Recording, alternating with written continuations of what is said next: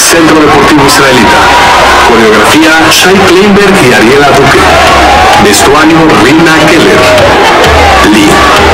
La evolución del hombre ha formado distintos caminos y es así como se forma el yo judío.